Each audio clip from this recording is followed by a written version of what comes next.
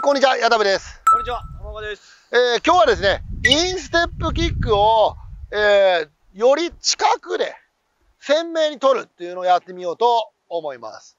インステップキックですね。で、えー、インステップキック、やっぱ今、浜さんと話してて、やっぱ何種類かあるよね。そうですね。あのー、シュそう、ちょっと倒した蹴り方。または、まっすぐ立て。ね。だから、あと、シュートだったりパスでも違うよと。違いますね。それをより近くで当たってる瞬間をインパクトを取れればいいかなと。これ結構やっぱ足の振りがね、わからないらしいんだよ。わからないん映像だと。あ、わかりづらい。わかりづらい。だから今日は近くで、ね、安全性を保ちながらやりますよ。っていうところで、まず、じゃあ、今日徳丸さんっていうね、いいいないんですけど、ここを近場でもうこの辺でいいんじゃないですか。浜さんはまずインステップでどうやって蹴る？スローモーションというか、まず丁寧にどうやって蹴るのか、イメージ説明してよ。えー、シュート。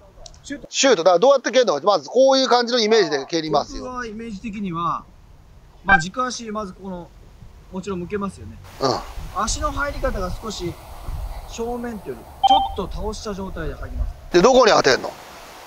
僕の場合は、この、硬いところ。そうだよね。浜さんね。この硬いところ。ちょっと、こうの出っ張ってるところ。ここに当てますで、。どういう感じで振るの？それ。振り方。俺も知りたい。振り方はそのまま当てたまま倒してそのまま前に押したしますおー、はいはいはい。前にシュートなんで前に力を伝えて行ってみよう。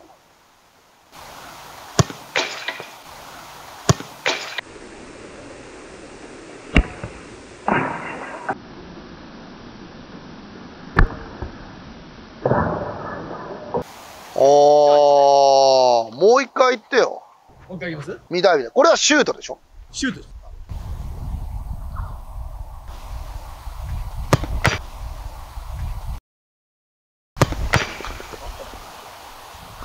そうだよね。そんな感じだよね。もう一回行く。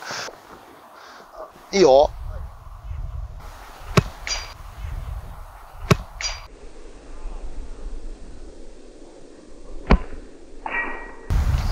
いいね。今の感じですよねいい、いい。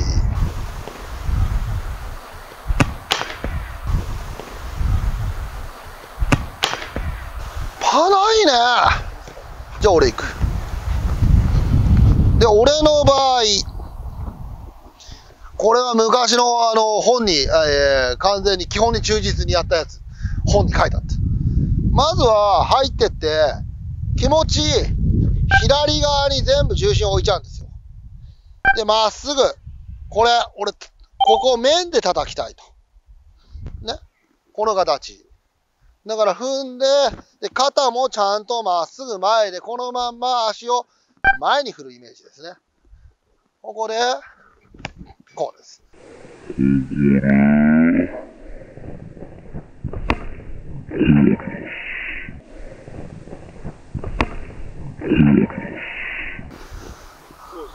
まっすぐ。まっすぐですよね。もう一本。ここから、こんな感じ。